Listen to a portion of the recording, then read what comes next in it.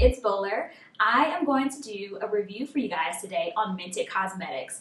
Mented is short for pigmented because it's made for brown and black girls in mind. I think it's great. We have such a hard time finding nude lips and Mented Cosmetics has bridged that gap. So they have six shades. I'm going to try all of them on. They range from Nude La La to Dark Night. Um, so I'm going to come back and I'll let you know what I think.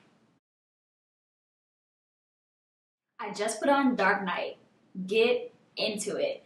It's so transitional. It's kind of dark, but it's not too dark. I'm really digging this one. Let's see what's next. Now I'm wearing Foxy Brown. It's a little more red than the Dark Night. It makes a little less of a statement, but I really like it. It's very neutral, and I think that you can probably wear this with anything.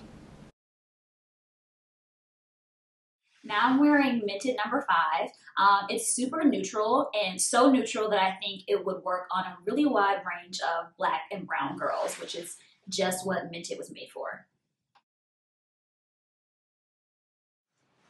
I think I found my perfect nude. Dope taupe. And it's perfect because my claim to fame is that I'm the doer of all things dope. This is it, guys. But I have two more to try, so I'll be back. Now I'm wearing Pretty in Pink. It's definitely a little bit pinker than the other shades that I've been trying. Um, I like it. It has a little bit more of a daytime feel to it. But let's try Nude La La. So now I'm wearing Nude La La, and this is giving Dope Taupe a run for its money. I think that this is something that I'd probably throw in my purse. I could wear it at work, happy hour, out with the girls. Really cute. I love it.